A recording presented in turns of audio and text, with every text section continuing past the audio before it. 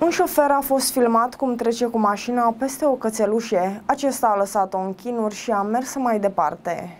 Conform știrile ProTV.ro, polițiștii l-au identificat pe conducătorul auto care a trecut intenționat cu mașina peste o cățelușă și apoi și-a continuat drumul ca și cum nimic nu s-ar fi întâmplat. Cercetările sunt coordonate de un procuror al parchetului de pe lângă judecătoria Galați. Conducătorul auto a fost identificat în persoana unui bărbat de 58 de ani din municipiul Galați. Polițiștii continuă cercetările sub îndrumarea procurorilor de la parchetul de pe lângă judecătoria Galați. Au precizat reprezentanții IPJ Galați. În imaginile apărute pe Facebook se observă cum cățelușa este este în stradă, iar la un moment dat un șofer a trecut cu mașina peste ea, deși nu avea viteză și avea timp să o ocolească. A plecat mai departe, fără să ajute cumva pietul animal care se chinuia în stradă. Imaginile au fost postate pe rețelele de socializare, iar la scurt timp polițiștii s-au sesizat. Șoferul vinovat a fost căutat și se va alege cu dosar penal pentru rănirea sau schingiuirea animalelor. În urma apariției în spațiul public pe un site de socializare a unei filmări în care se observă un autovehicul care calcă un cățel aflat pe partea carosabilă, polițiștii biroului pentru protecția animalelor animalelor s-au autosesizat, întocmind dosar penal pentru rănirea sau schingiuirea animalelor și efectuează cercetări pentru identificarea persoanei aflate la volan, a anunțat IPJ Galați. Cățelușa a fost salvată de un tânăr milos și dusă la medic. Din fericire are doar o fractură de bazin. Aveai tot locul din lume să treci pe lângă ea, dar nu, ai ales să treci peste ea. Dacă te mustră gândurile, să știi că acum este mai bine. Nu a murit cum probabil ți-ai propus. Dumnezeu i-a mai dat o șansă și este mai bine. A scăpat doar cu o fractură de bazin. Este mesajul postat de cel care a salvat salvat-o, relatează știrile protv.ro.